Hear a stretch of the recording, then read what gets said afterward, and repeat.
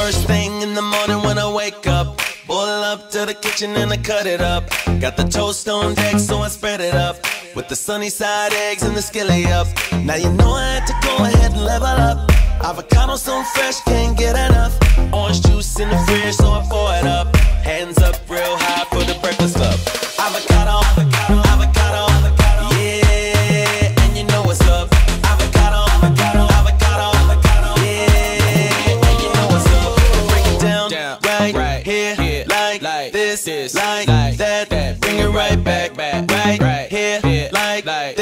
Like, like that. that. They cut it up, cut it up, cut it up, cut it up, cut it up, cut it up, cut it up, cut it up. They cut it up, cut it up, cut it up, cut it up, cut it up, cut it up. Stir the guac, stir the guac, stir the guac, stir the guac, stir the stir the guac, stir the guac, stir the guac, stir the guac. Let me see you just clap, clap, clap, clap, clap, clap, clap. Let me see you just clap,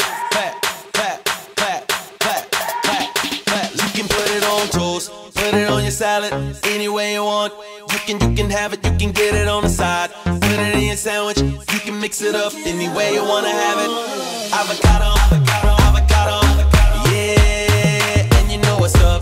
Avocado, avocado, avocado, avocado, yeah, and you know what's up.